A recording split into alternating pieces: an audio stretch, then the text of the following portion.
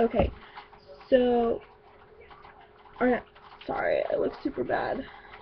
I'm doing absolutely nothing today except like make videos because it's icy and cold and snowy outside and it's just miserable and I don't want to go to the barn because it's freezing and it's not good, you know, for Dixie to be ridden in the cold and it's not good for me to be out in the cold. So, I decided to make a video instead. So, um, this video is going to be like about the difference between ponies and horses and I know most of you guys probably know the difference, but a lot of people actually don't. It's really kind of, it's frustrating sometimes, especially like if you supposedly know what you're talking about and you just like, I don't know, you just, you just don't. Okay, so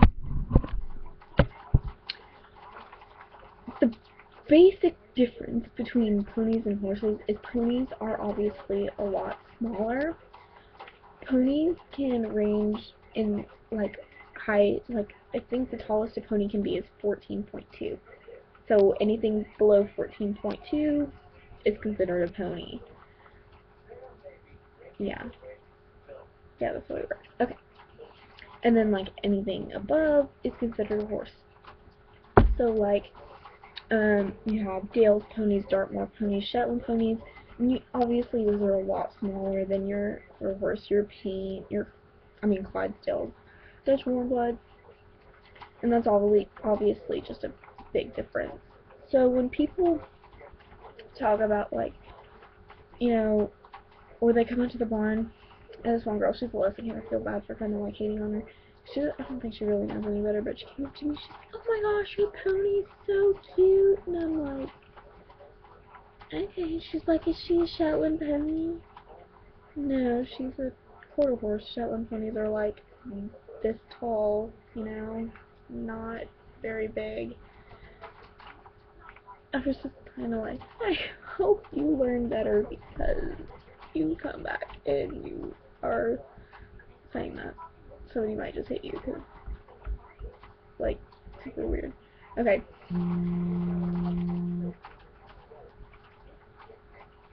Sorry, I just got a text on the water source bar.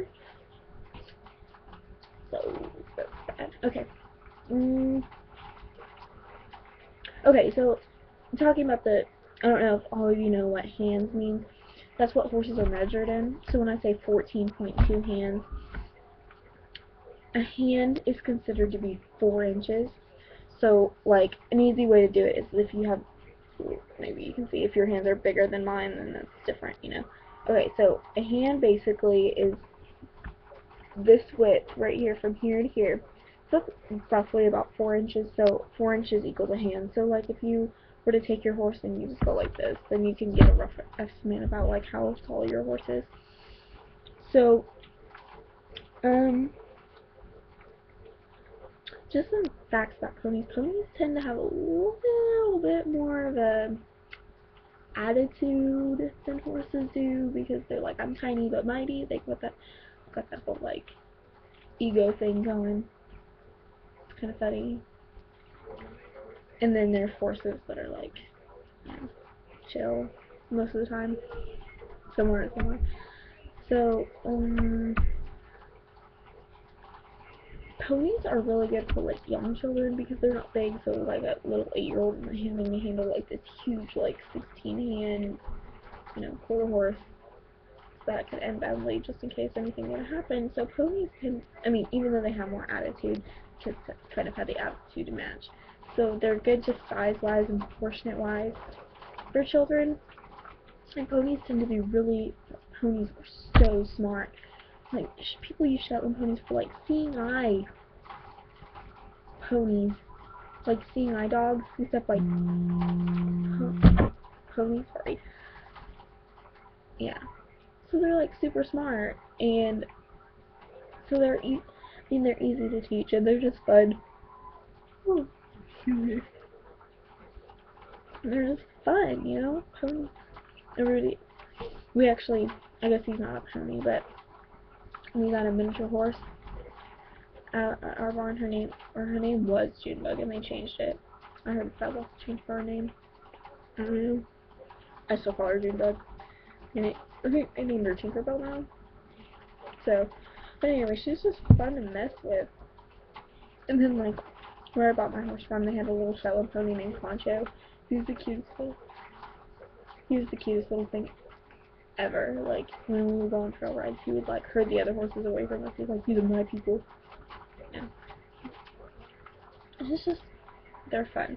Okay, but the, I mean, anyway, the different there is a different like there's different pony breeds like Dales pony, Dartmoor pony, Pony of Americas. A lot of people in my ride those. Um, I actually have a big book here. Not gonna film that. Shetland ponies. Um, oh, this is cute. Cell ponies, Eskimo ponies. Shire is not one. Um, and then of course you have your um, these are all horses from Europe. You Live in Europe. Okay. Yeah, we want horses that people are familiar with. Danish warmbloods. Those are horses. The Americas. Okay. So I'm gonna show you the Pony of America. Pony of America kind of like, um, well I guess it says they have the 3.2 height thing. So I guess they kind of qualify in the height range, but there's um some POAs out at my barn that actually there's one that's like taller than my horse. If they get their permanent height card, then they can stay like qualified as Pony of America, and if they don't get their permanent height card, then they qualify as Appaloosas. So I'll just show you a picture. I'll just take a picture. They don't have a fixed picture. Just kidding. Okay, so the spot. No, I lost it. My bad. Maybe come back. There we go. Okay. So that is a Pony of America right there. No, they all look like that. I thought they were all ugly, but they don't look like that all the time. Okay, they come in like Appaloosa variations, so if you know what an Appaloosa is, POAs are just mini versions. So, and then I'm going to use the quarter horse as an example because they're pretty cool. Oh, that's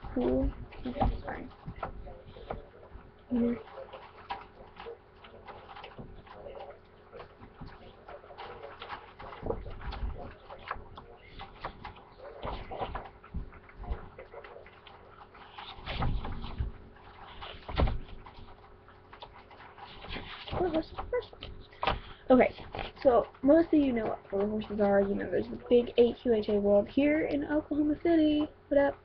Go to that every year. It's so much fun. They just get meet new people and like you get tips about showing and you get to see like different training tips and you get to meet vets and farriers and it's just um so horses are more meant for heavier style work such as um driving, barrel racing, jumping, western pleasure, reining, you would use a horse for that. You would or gaming and you would you wouldn't use a pony for that. Whereas ponies, I guess I mean people use ponies for driving all the time. But ponies are more for like little kids just learning, teaching lessons. And they're they're just ponies are good for teaching. But if you want to get competitive, you I mean you're really not I mean, you can't ride a pony your entire life. Because eventually, like, your legs end up being longer than the pony is. So this doesn't really work. Um,